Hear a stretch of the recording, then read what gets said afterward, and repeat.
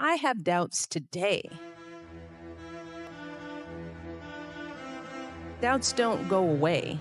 You just learn how to deal with them. You you start knowing yourself and you become more confident. The more successes you have, the more chances you take. You don't let the the failures or the stumbles define you. Everybody falls every now and then. Some people fall a lot. And what I realize is that we have long lives if we're healthy and we do what we're supposed to do. Think about life as a long trajectory, but at the same time, you don't want to make huge mistakes. Because when you're young, making big, big mistakes can last forever, right? So you want to choose wisely. But the stumbles, the lessons learned, that's part of life that, that makes you grow. But I, I came to know that. I didn't know that when I was your age. I thought every every mistake was the end of the world. I'll never be able, I'll never get into school, I'll never be, you know, of course, we all feel that way.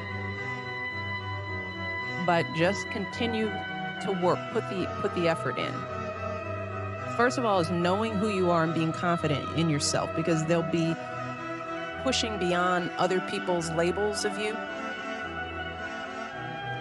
That's a big part. That's what we do to each other all the time. We don't even know each other, and we already determine from one glance, meeting, one line, one word, one phrase, this is who you are. So you have to know who you are before that.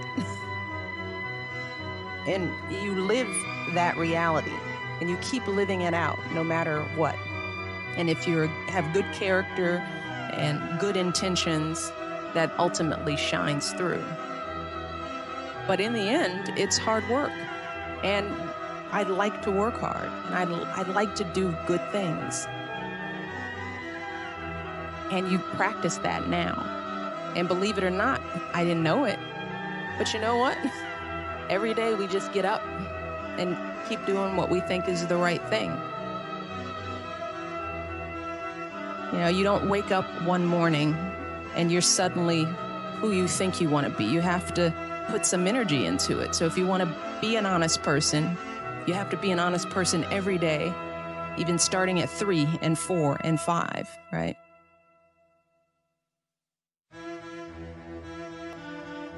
If you're going to be a hard worker, hard work doesn't just appear. You have to practice hard work. Uh, you have to practice effort. And I also encourage them, try to help them understand that good things don't come easy. That's where you grow. That's where growth is. Some of the best times in my life when I've grown, it's when I've done something hard, uh, when I've overcome a fear, you don't realize that when you're doing it, but when you come out on the other side, you realize, wow, I've really stepped up.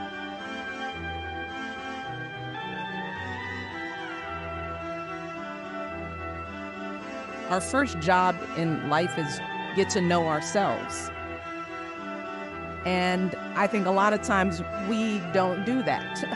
we spend our time pleasing, satisfying, looking out into the world to define who we are listening to the messages, the images, the limited definitions that people have of who we are. And if we live by that limited definition, we miss out on a lot of who we are. But it, it takes taking the time to know who you are to be able to deal with the onslaught of negative messages that you're bound to get. And I think we have to invest that time in getting to understand who we are and liking who we are. Because I like me. I've liked me for a very long time.